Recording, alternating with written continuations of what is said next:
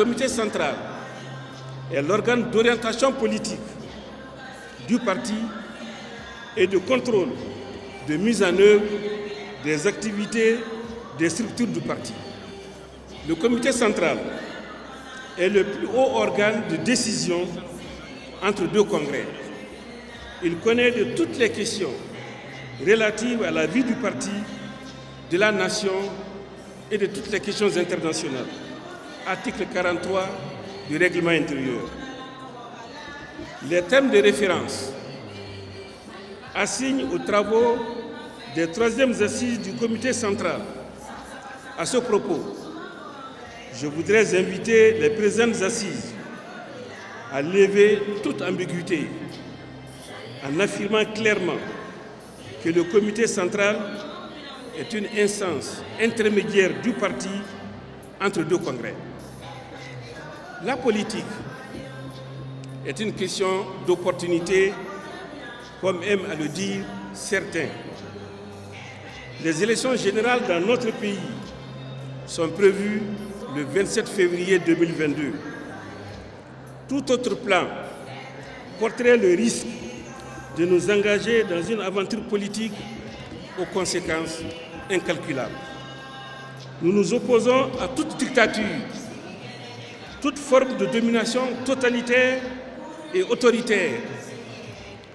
L'accélération de la mise en œuvre de l'accord pour la paix et la réconciliation au Mali, ici du processus d'Alger, impose aux acteurs non seulement la diligence des dispositions prévues, mais également le courage d'affronter les points de blocage survenus à la suite de la mise en œuvre de certaines dispositions.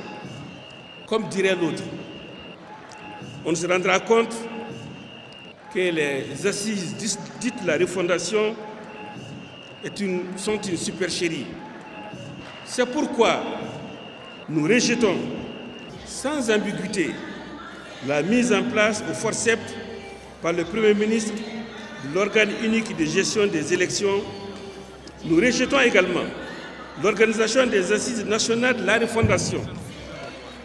Nous rejetons le projet de loi électorale dont le processus unilatéral d'adoption par le gouvernement n'a été ni consensuel, ni inclusif, ni participatif. Nous dénonçons la non prise en compte des préoccupations justes de la classe politique et la mise en veilleuse du cadre de concertation entre le ministère de l'administration territoriale et de la décentralisation et les partis politiques. Nous réaffirmons notre engagement à œuvrer pour la réussite de la transition dans le respect des délais de 18 mois. Je fais mien tout ce qu'il a dit. Nous nous retrouvons en tant que Yéléma. Je voudrais m'adresser au peuple RPM.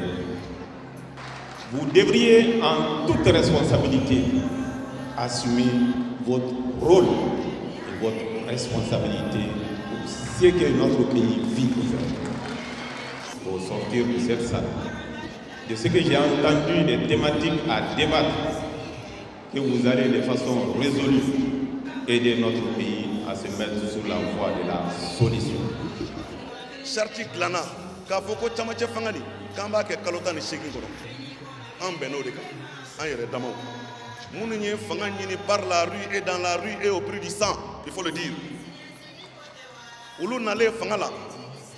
U ko ko layiri minnu tara k'a bɛ timɛ aya aw ye min lagosi kunu aw ma kan ka fɛn kɛ min ka jugu n'o ye o. Minnu y'o kɛ olu de b'a la bi ko assise nationale de la refondation nous on appelle ça les assises nationales de la prolongation de la transition on rentrera pas dans ça Et la tâche qui incombe aujourd'hui à l'ensemble des partis politiques, dont le RPM, je crois que c'est de réfléchir à comment refonder ce qui est réellement à refonder, c'est-à-dire le rapport entre les classes politiques et le citoyen. Et je crois que le RPM s'il travaille aujourd'hui à réfléchir aux moyens de rétablir cette confiance-là, il continuera à s'imposer et à rester au cœur de la classe politique nationale. Au nom du président de mon parti, absent, M. Seigneur Mendido, nous disons à tous ceux qui sont ici que le combat du Mali se fera et les Maliens, les Maliens, qu'ils comprennent une chose, c'est eux seulement qui feront le Mali, pas quelqu'un d'autre. Pour nous, le principe des accords, de l'application de l'accord de paix, ça ne se discute même pas. Souhaitant un bon déroulement à nos travaux, je déclare ouverte la troisième session du comité central de notre parti, du Rassemblement pour le Mali. Euh, c'est toujours heureux de se retrouver dans un tel cadre pour en tout cas pencher sur l'avenir du parti. Donc je suis très heureux d'être là. Naturellement, les résolutions vont nous permettre euh, euh, de rectifier ce qui a rectifié, de renforcer ce qui a renforcé et aussi de mieux préparer le congrès. Donc les recommandations et les résolutions qui vont sortir, en tout cas de ce comité central, seront nos boussoles pour le, congrès à venir. Donc, à mon avis, c'est quand même une phase extrêmement importante dans la vie d'un parti.